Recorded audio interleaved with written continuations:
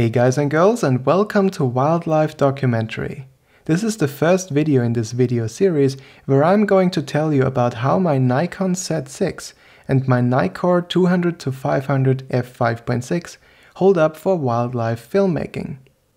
All the videos on my channel up until now were shot with this setup, without exception. The nature scenes you can sometimes see in the background throughout this video series were also shot with this camera. There are already some videos out there talking about this topic, so what sets this video series apart? Well, first of all, the topic of wildlife filming, especially with regards to birds that are very small, very agile and usually very shy, is not discussed all too often in combination with this gear. But this video series will focus mostly on that and will contain information on many different aspects that are important for this endeavor such as the question of audio and sound on this camera, which is rarely covered. This includes the preamplifiers of the camera and the lowest noise floor of the quietest setting. What actually is the quietest setting, it is not level 1 by the way, and what different kinds of audio gear work well in combination with this camera. And secondly, I like to read up on and inform myself thoroughly about the gear I'm about to buy, and once I own it, I like to test my gear in detail to find the best ways to use the camera, and I have done that for almost a year now. So I know quite a lot about the strengths and weaknesses of this camera. So this video series is also going to be filled with quite advanced details. That said, let's begin by talking about the handling of the gear.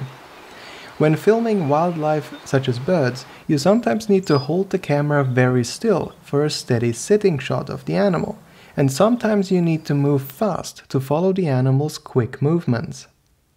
For it to look professional, you need to have good stabilization to make your videos look smooth.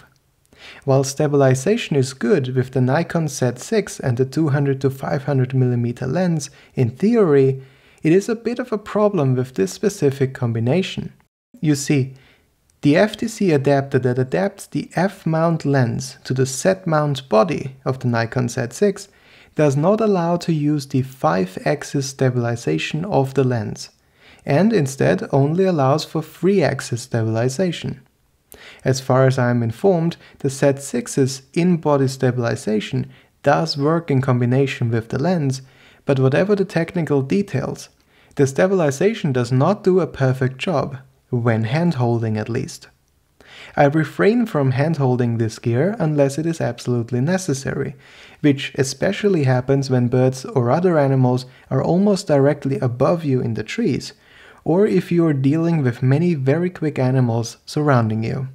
The weight of the gear, especially when paired with additional audio gear, is another reason why handholding is not the best option. It is quite heavy.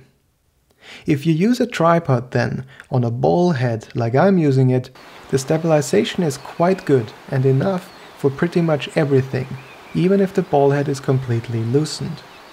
That the camera sits on something, like a tripod, while being moved to follow animals gives it enough stability to deal with the rest of the shaking and stabilizes the footage quite well. Best not to cheap out on ball heads, though, because one that supports only up to 8 kilograms did break while in use, even though the Z6 and the 200 to 500 don't even weigh half of that together.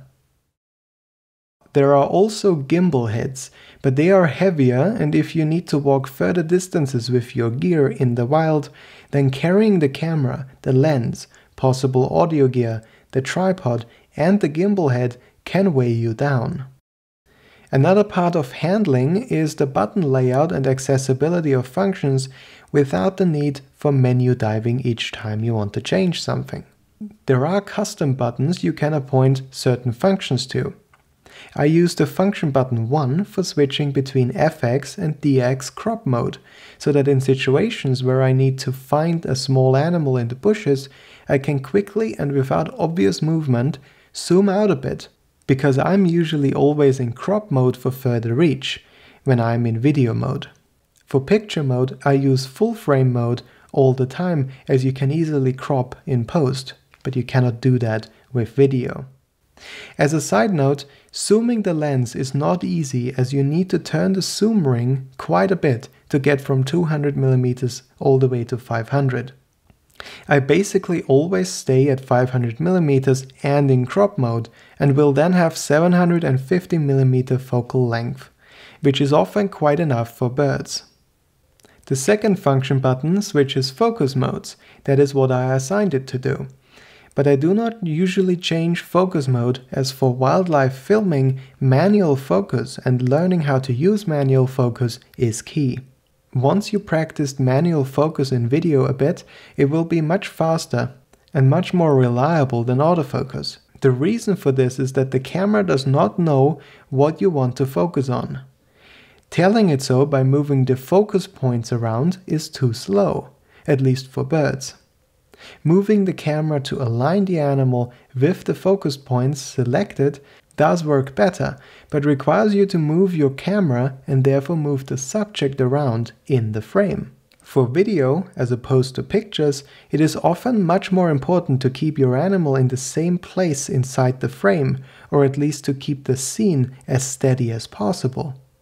Even if you align the focus points with the animal, the animal might just slightly be covered by a leaf in front of it, and then the camera might miss focus.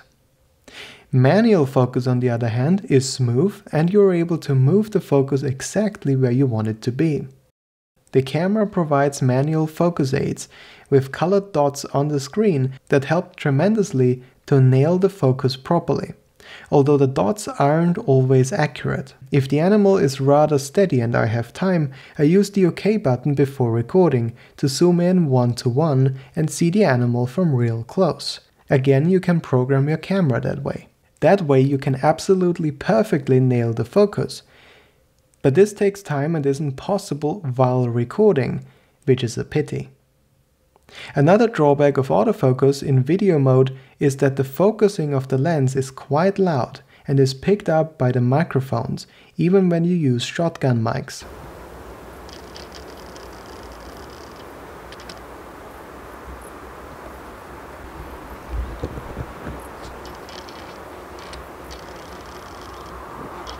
I've seen on the internet that if F-mount lenses are mounted onto Nikon Z-mount cameras, they start making this noise when focusing. I don't know if this is correct and I don't have an f-mount camera to test this, so it might not be a problem of the lens itself. Alright, this was it for this part, the part about handling, but more parts will follow. So don't hesitate to ask questions in the comments and see you in the next one.